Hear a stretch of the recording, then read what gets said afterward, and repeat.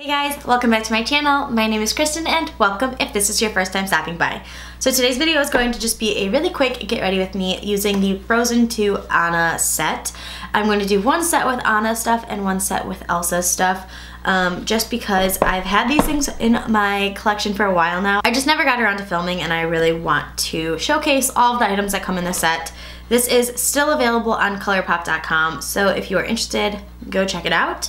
Um, so this is the Frozen 2 set. The boxes are absolutely beautiful. I love the way they're packaged. And then when you open it, you got your palette, your lip gloss, your lipstick, and your body glitter. This is the one thing I probably will not use, but I will try to use everything else today and see where this makeup will take us. So first, I'm going to do my complexion as always because that is one of my favorite things to do, and then we will get started into the collection itself. So starting off, I'm going to be priming with the Hello Fab Pores Be Gone Matte Primer. This is just like any other kind of silicone-based primer, to be completely honest. There's nothing super like amazing about it. Um, but it does feel really nice on the skin and it also feels, even though it's mattifying, it feels pretty hydrating. So that's nice. And I think it's because this is a skincare brand, so they do want to um, try to take care of the skin as best as possible. I'm just gonna pull my hair back really quick. For foundation, I've been absolutely loving trying out, I have a sample size of this, and it is the Tarte Foundcealer. Mine is in the shade Light Beige. I will be purchasing the full size of this once this runs out and once I use up more products. Again, I told you guys I'm on a spending freeze. So before, until then, I just have to use this up and any other foundations I already have. And I'm just gonna blend this out using a uh, Real Technique sponge. Yes, and just spread this out on my face, pat it in, you know, the usual drill. Okay, so while I'm applying this, um, tell me some new shows or documentaries or movies that you are really enjoying. I have been obsessed with so many different um, things on Netflix. Um, I'm currently watching The Devil Next Door, which is about Ivan the Terrible. Um, I also watched Don't Bleep with Cats, um, which is very, very creepy. And if you like to watch those kinds of like murder, uh, criminal sort of documentaries like myself, then you'll really like it. But it is very creepy and it gave me nightmares, but I still recommend it. It was really well done.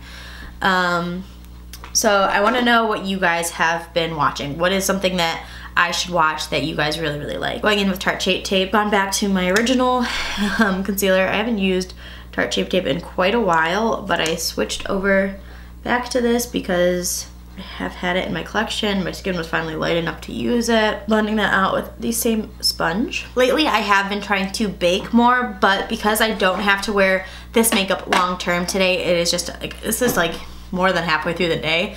Um, then I, I'm not gonna be baking today. I'm just gonna go into my regular Stay Matte powder and transparent. To have a nice blank slate on the lids, I'm going to be using MAC Soft Ochre Paint Pot. And then I'm gonna take a little bit more of the Stay Matte powder just to set that and make sure it doesn't crease. Moving on to bronzer, I'm going into the Milani Silky Matte Bronzing Powder. And this one is in the shade Sunkissed. You have to use a pretty light hand with this to be honest. Um, it is a lot more pigmented than you would think.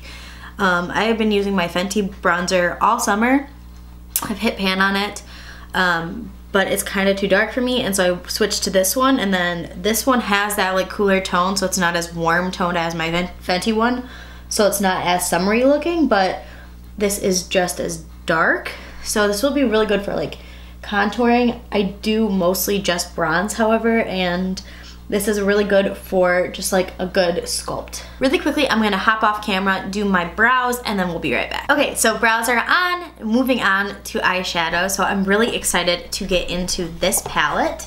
This is the Anna Pressed Eyeshadow Powder, powder Palette, and it has nine shades in it. Let's open you up. So these are the shades that come in the palette. They're really, really pretty. I like that it comes in a mirror with a mirror so it's easy to travel with if you wanted to bring this palette somewhere with you, um, like you know, traveling, super easy and compact. There are a lot of great shades in here. I honestly have no idea what kind of look I'm doing, but we're gonna just start and see where it takes us. Um, also, I don't know if you guys have seen this movie yet, but it is really good. I I like this one a lot more than the first one. The music from the first one is more memorable, however, in my opinion. Let me know what you guys thought if you've seen it. Um, first, I'm gonna go in with Wind, which is a really nice warm mid-tone brown. I'm taking a fluffy crease brush and I'm just going to start to apply that right into the crease and kind of almost like really lightly apply it so it kind of becomes our nice transition shade as well. Then going in with the same brush, I'm gonna go into the shade Fearless, which is a little bit more of a cooler toned mid-tone brown, but still has like warm accents. I'm really bad at describing colors, so hope that helped at all. well, at least a little bit maybe. And I'm gonna focus this more right into the crease, right in the area below where we put that transition shade, kind of bring a little bit more um, depth to the eye. Going into a smaller crease brush, this is my favorite brush, I'm gonna go into the one that says charades. All of these have a lot of meaning to the movie, so if you have not seen the movie, you may not understand them, but um, they're really cute names. If you have seen the movie, you'll understand. I'm putting this directly into the crease. Um, and I'm making sure I don't go above the crease at all. If you can see where I'm putting it. I'm just placing the color with this tiny brush and then I'll show you what I will do next. Going back in with the same brush that we used for the crease, I'm going to just blend this out. And for the lid, we're gonna go into Earth all over the lid, and then to accent the inner corner, we're gonna use Scooch Dew, Scooch. Maybe I should understand what that means. If you guys know what that means, let me know. But I'm gonna go into Earth, which is this beautiful gold color. I'm gonna do it without any Fix Plus or um, like additive to see how it applies on its own. I'm not sure I'm in love with the color tone of it. It's a little too golden for me, but it's very pigmented and it's applying really beautifully without any like liquid or water to make it more intense. So what I'm gonna do to just kind of work with that is I'm gonna go back into the crease brush and fade out those edges, making it a little bit more of a seamless gold shade. And then using the same lid shade brush, I'm gonna go into this first color, which I can't pronounce, and I'm gonna put that on top instead of just in the middle inner corner. I wanna see how it performs. This has like a duochrome to it. It's like a cream color with a pink duochrome. I think I like that a little bit better and we kind of got a cut crease going on now. With that shade, I'm going up a little bit higher on this side. Going in with this Tarte fluffy crease brush, I'm gonna go into Warm Hugs, which if I could, I would have just put this all over the lid, but can't take it back now. Um, so I'm just going to put the purple shade under the lid, or on the lower lid. Oh, so pretty. Makes me so happy. And then going into um, Autumn Breeze, I'm gonna go make that a little bit deeper right near the lash line. And going into Adventure, I'm gonna do this on the outer half of the lower lash line and bring it up to the upper lid. So then going back into the first brush that we used to create the crease, we're just gonna blend out those edges, make it a little bit more seamless. We went pretty far out on this side, so we're gonna have to do some cleanup there. And I think I'm gonna leave it there. I used every color except for Arendelle, which is the one right in the middle. And I'm gonna do a quick little cleanup. So going back into my Rimmel Stay Matte Powder, I'm going to just take some of this and just kind of clean up those edges right there um, wipe away any fallout that I might have had because I do have some fallout on the face. I'm going to stay on the theme of ColourPop. So I'm going to go into A Smile and a Song um, Super Shock Cheek Pearlized from the Disney Designer Collection. This is the first one that came out. And I'm going to take my Real Techniques setting brush. I always use a setting brush to do my highlight.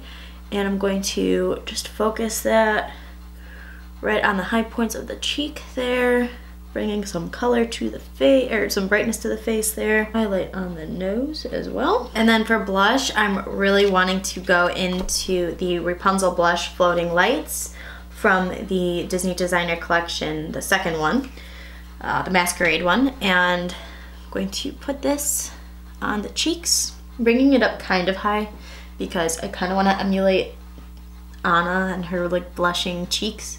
So bringing it pretty high up, close to the eye, and putting a little, just right across the nose. Like all princesses have that little rosiness to them. So I'm really liking this. I'm going to put on some mascara and I'll be right back. So mascara is on. We're gonna move on to lips. The lipstick that comes in this collection comes in this beautiful purple packaging and it's in the shade Going North. It's the cream finish and it is a neutral brownish shade. Anna represents a lot more of the earthy tones, so I like that they went with this lipstick color. I'm going to go in with a lip liner just to clean up the edges.